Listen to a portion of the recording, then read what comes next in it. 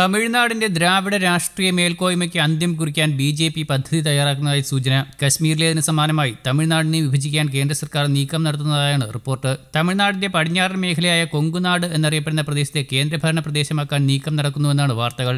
A A D M K ശക്തി കേന്ദ്രമായ കൊങ്കുനാട് മേഖലയിൽ ഈ സ്വാധീനം ഉപയോഗപ്പെടുത്താനാണ് കേന്ദ്രം നീക്കം നടത്തുന്നത് എന്നാണ് വാർത്തകൾ. തമിഴ് പ്രാദേശിക ദിനപത്രങ്ങളാണ് ശനിയാഴ്ച ഇത് സംബന്ധിച്ച റിപ്പോർട്ട് പുറത്തുവിട്ടത്. പിന്നാലെ സോഷ്യൽ മീഡിയയിൽ ഉൾപ്പെടെ വിഷയം സജീവ ചർച്ചയായി. വലിയ വിജയം നേടി സംസ്ഥാനത്ത് അധികാരത്തിലെത്തിയ ഡി എം കെ സർക്കാരിനെ പ്രതിരോധത്തിലാക്കുന്ന നീക്കമാണ് കേന്ദ്ര സർക്കാർ മുന്നോട്ട് വയ്ക്കുന്നത്. അധികാരത്തിലെത്തിയതിന് പിന്നാലെ കേന്ദ്ര സർക്കാരിനോട് തുറന്ന പോരിനിറങ്ങിയ സ്റ്റാലിൻ സർക്കാരിനുള്ള മറുപടി കൂടിയായാണ് ഇത്തരത്തിലൊരു ചർച്ച പോലും എന്നാണ് വിലയിരുത്തൽ. എന്നാൽ ഭരണഘടനാപരമായി ഇത്തരമൊരു നടപടി പൂർത്തിയാക്കുക എന്നത് എളുപ്പമായിരിക്കില്ലെന്ന് വിദഗ്ധർ അഭിപ്രായപ്പെടുന്നു. നിലവിൽ പ്രതിപക്ഷത്തിരിക്കുന്ന അണ്ണാ ഡി എം കെയുടെ ശക്തി കേന്ദ്രമാണ് കൊങ്കുനാട് മേഖല.